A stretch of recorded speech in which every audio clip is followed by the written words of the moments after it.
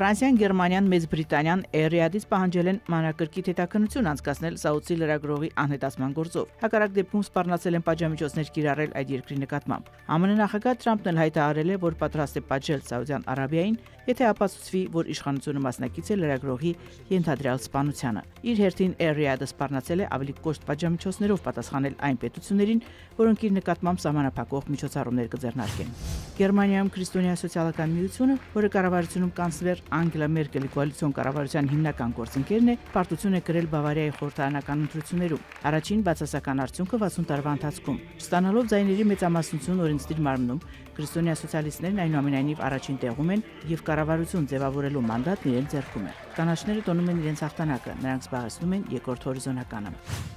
Բրյուսելն ու Լոնդոնը համաձայնության չեն եկել Brexit-ի հարցում։ Հիմնական խոչընդոտը Եվրամիության կազմում գտնվող Իռլանդիայի հետ սահմանային եւ Հյուսիսային Իռլանդիայի հետագա ճակատագրի հետ կապված խնդիրներն են։ Վարչապետ Թերեզա Մեյը պնդում է, որ թույլ չի տա մաքսային սահմանն իռլանդական ծովով, նաեւ Հյուսիսային Իռլանդիայի ինքնուրույն գործունեությունը Եվրամիության հետ։ ԱՄՆ նախագահ Թրամփը հայտարարել է, թե չի պատրաստվում աջակցել կլիմայական փոփոխությունների պայքարին։ Նա մտադիր չի այդ նպատակի համար միլիարդներ ծախսել եւ միլիոնավոր մարդկանց զրկել աշխատանքից։ Սպիտակ տան ղեկավարը կարծում է, որ գիտնականները խնդրի վերաբերյալ քաղաքական մոտեցումներ ունեն։ Թրամփը չի ընդունում նաեւ այն տեսակետը, որ մարդու գործունեության պատճառով են տեղի ունենում կլիմայական փոփոխությունները եւ որ դրանք վտանգավոր են։ Մարիամ Քույտարյան, լուրեր։